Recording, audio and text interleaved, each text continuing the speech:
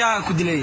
Nin iwin may dilaa ku muxuu kuu sameeya muxuu kuu sameeya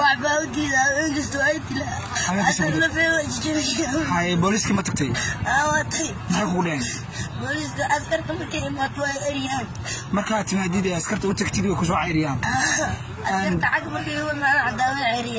daawadayaal wiilkan waa wiil dhibaataysan wuu ooyayaa wuxuu cabasho ka yahay nin ayaa habeen kasta dila. Waa aragtaan jirkiisa waxa ku yaalla nabaro waaweyn. Isu yahay waa u jeedaa nin. Booliiska magaalada garowe ayuu xiriir la sameeyey oo booliiska waa kanka nooga muuqda. Wuu tegay dabeedna waa la soo cayriyaa maalin habeen kasta.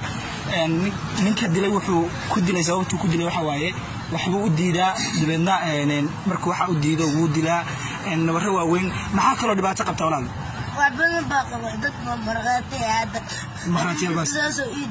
habeen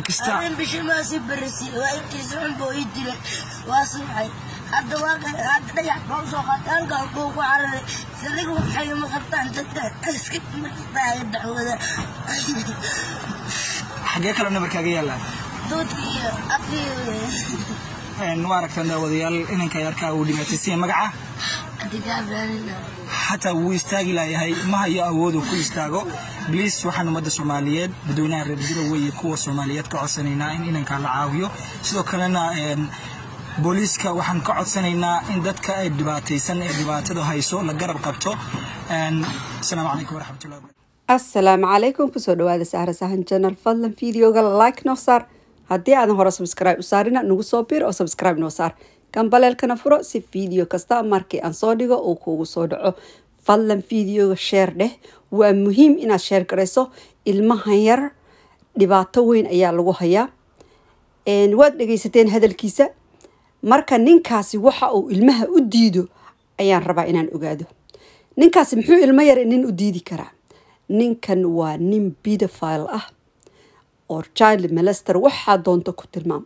Waa nin ilmaha isticmaala ilmahan wuxuu u dilay meel kasta ayuu ka baabi'iyey markii uu isu diiday ilmihii yaraa jirdil xataa ayuu ku sameeyey.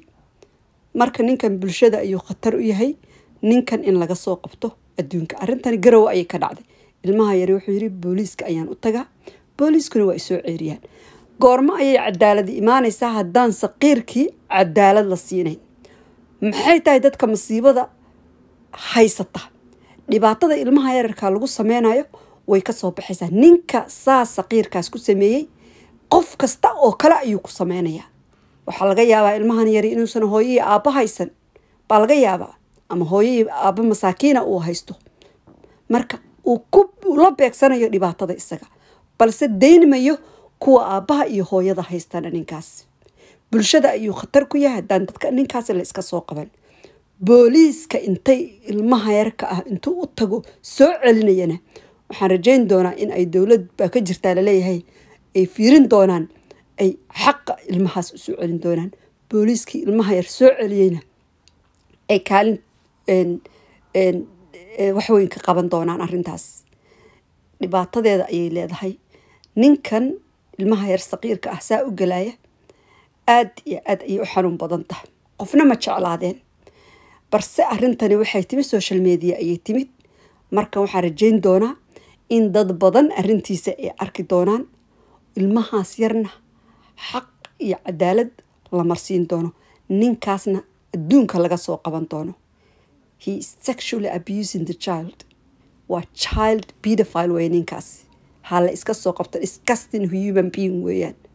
Disgusting weeye disgustingkaas haddaan la iska soo qaban bulshadu ku dhex jiraya. Soomaaliya haddaad qabiil u qarsataan wallaahi kiinuu ku soo noqonaya ha laga soo qabto waxaasoo kale bulshada ha laga dhex qabto ya bulshada laguma sii dhex daayo ninka noocaas oo kale ah. Mar kale waxaan idin xasuusinayaa fadlan videoga sheer dhaha si ilmahaas yar uu cadaalad u helo. Ninkaas saas ku sameeyeyna la soo qabto. Waxaan idinkaga tegayaa wasalaamu calaykum waraxmatullaahi wabarakaatu